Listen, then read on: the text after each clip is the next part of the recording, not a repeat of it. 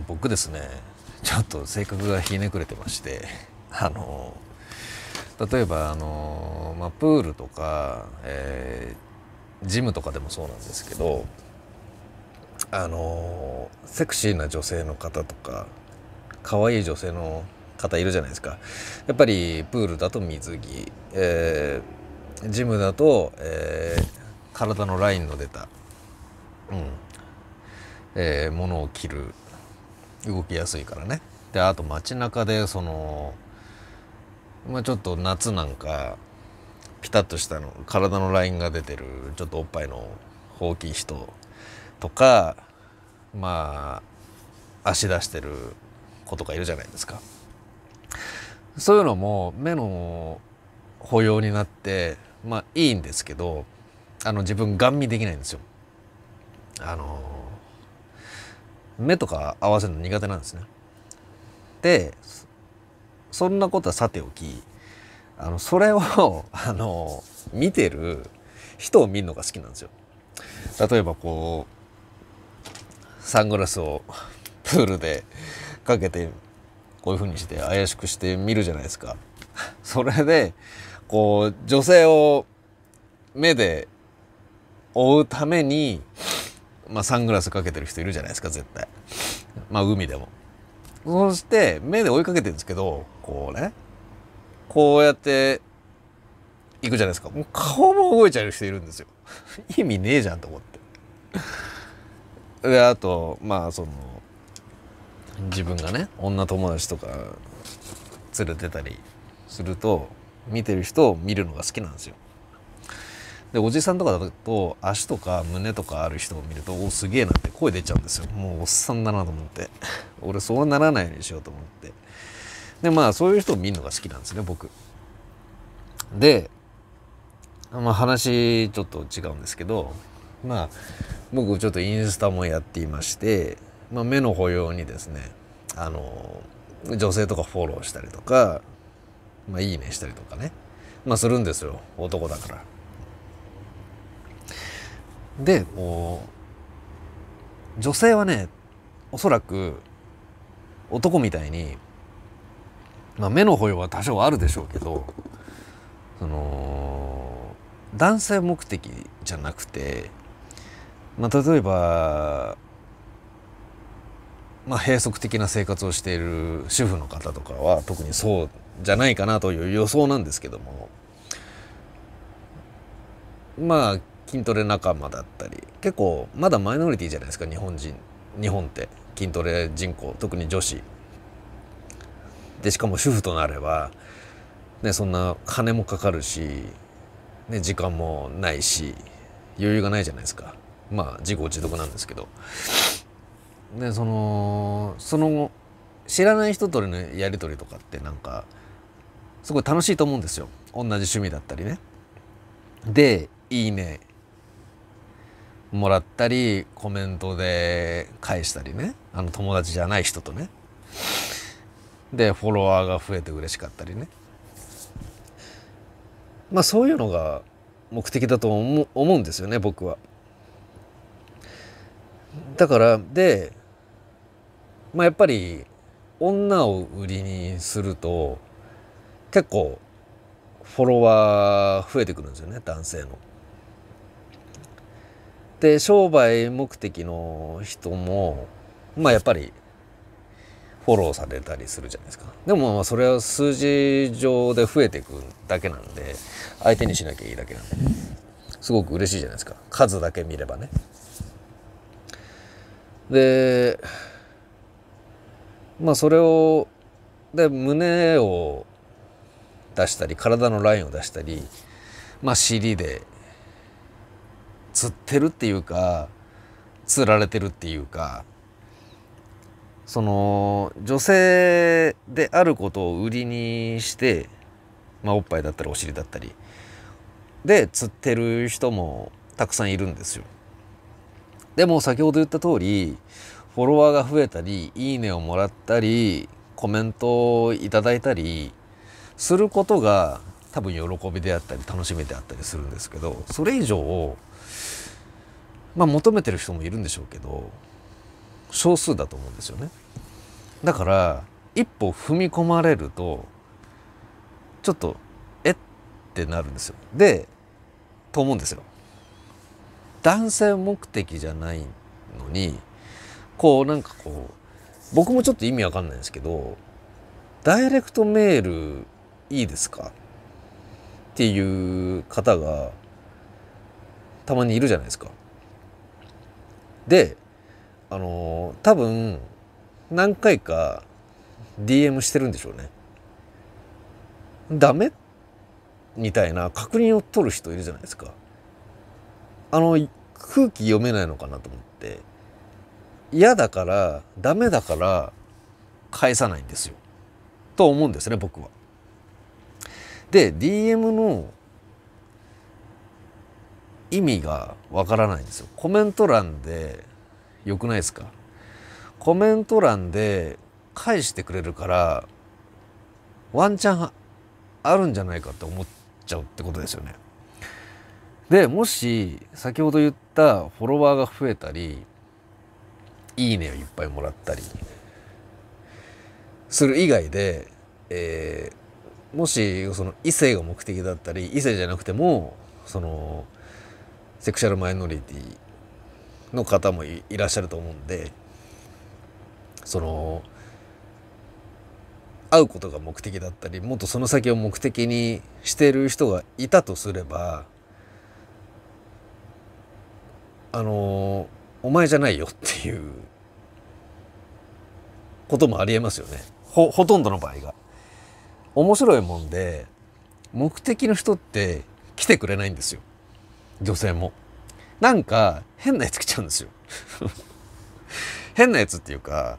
一概に変なやつって言っても他の人から見ればいいかもしれないですけど自分の好みの好みじゃない人から来ちゃうっていう謎のマーフィーの法則謎の法則があるじゃないですか。来てほしい人に限って来ない。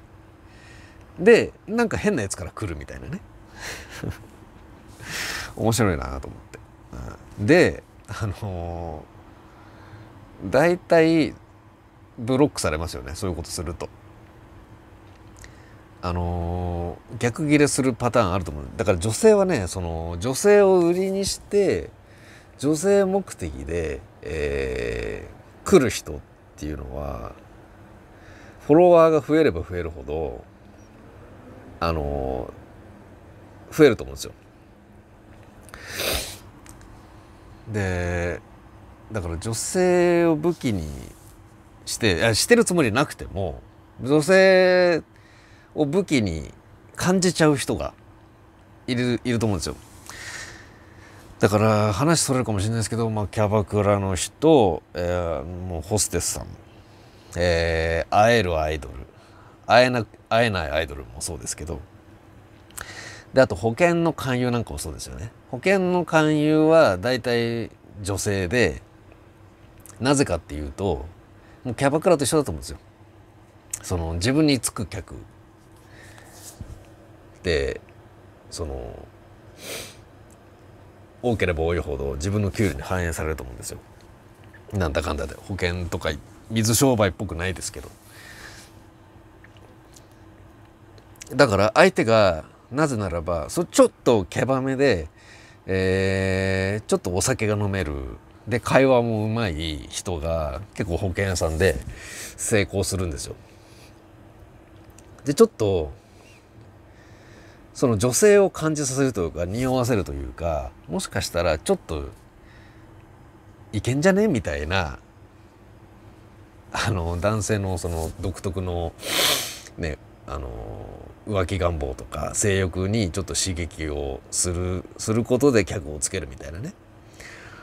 よくその喫茶店やらレストランで謎の一組。まあ保険の勧誘だなみたいなことしてるんですけど。大体男性と女性なんですよ。ええ。だそういう仕事の人もそのインスタでやってる人もそのまあアイドルさんもそうですけどなんかこうやべえやつに当たるっていう危険性があるんですよね。えー、男はほぼないんですけどだから勘違いして口説いちゃう人とかジムとかいるんですけどいやそういう場じゃねえからみたいな俺は思うんですよ。でまあインスタの話に戻しますけどその人を知った気になれる知った気になっちゃうんですよね。でコメントも何回かやりコメントも入れれば返してくれるだろうし、うん、暇つぶしなんですよね女性にとっては多分ね。うんだ僕は女性じゃないんで分かんないですよ、うん、でも少なからずそういう人っているんでそれを覚悟で楽しんだ方がいいと思うんですよね、うん、で挙句誘ってただろうだろうとか勘違いしちゃう人もいると思うんで、うん、でなんだろうな自分その忖度ができないというか相手のことを考えないんでしょうね。からられないからやってるんでしょうね。嫌われるようなことしちゃうんですよね。好かれはしないですけど、嫌、まあ、普通でいる方がいいじゃないですか。嫌われるより。だってシャットアウトされちゃうんですよ。ブロック、ブロックされちゃうんですよ。多分ブロックされてるの気づかねえのか、もしくは気づいてたとしても自分に理由があるとか思わないんでしょうね多分ね僕はそもそもなんだろう会おうとか一回会ったことありますけど会おうとか言ったことないんでお誘いは一度受けたことありますけど僕友達が欲しいんで、うん、まあこ俺みたいな男は逆にいないんでしょうけどね、うん、あよわくばっていう人が多いんでしょうね、うん、で誘ってたとしても別に誰でもいいわけじゃないんですよね。女の人って。やっぱ選ぶんですよ。あの出会いがないとか言ってますけど何人か出会ってるはずなんですよ。だけどそれの対象か対象じゃないかの候補にも入ってないんですよ。で最近の僕結構ラジオ聞くんですけど女子アナウンサーとかって結婚したいんですけど何にもしなくていいよっていう人がいいって言うんですよ。そんな人いないですし何かしなきゃいけないんですよ。で子供多分産みたいでしょうから子供を産む以上何にもしなくていいよってことはないと思うんですよ。うん、で向こうも男側も結婚したいからまあかっこ性欲を満たしたいからかっこ閉じるの人たちは「いおいよ何もやんなくて」って最初は言うんですよ絶対に、うん、やっぱりね気を持たすことをしてるんだよっていう自覚をちょっとしとかないと危険なやつって結構いるんで、えー、特にやっぱり性女性を売りにして性を売りにしちゃう人はいや本人その気なくてもですよ向こうがそう思っちゃったら、うん、そう思ってやっぱその谷間とか体のラインとかお尻とかを足とかをそのインスタに乗っけてる。でそれでフォローが来るってことはそういうふうな目で見てるって思った方がいいと思います。はい。うん、そもそもね自分の欲告白とかその好きにな気になる子をデートに誘ってたりとか映画に行きましょう遊園地行きましょうっていうのも自分こっちのエゴですから結局、うん、僕はそういうだから本当は行きたくなかったらどうしようとか誘うの苦手なんですよね。男もそうですけど後輩とかもそうですけど気使って来られるのも嫌だしだから誘われる方が楽なんですよね。誘われて行くことはありますけど女性をね。誘っていくってことはまずないっすね。友達以外で。うん。だからまあ結構 KY な人も多いっすよね。やっぱりインスタっていうこのえー、そのなんつうの携帯電話道具コンテンツツールの一つなんで物として見ちゃうんでしょうね。だからエロ本じゃないですけど雑誌じゃないですけども。なんか人っていう感じはしてないんですよねまずね。だからセクシービデオ見るみたいな感じ。とかライブ DVD 見るような感じ。だそのファンとかでもあのアーティストのファンとかでもやっぱり歌詞をそのまんまその人のことだと思って勘違いしちゃう人とかいるじゃないですか、だから DM ダメっていう人はで返事来なかった人はダメってことですよ、ね、諦めてください、うん、そういうことで。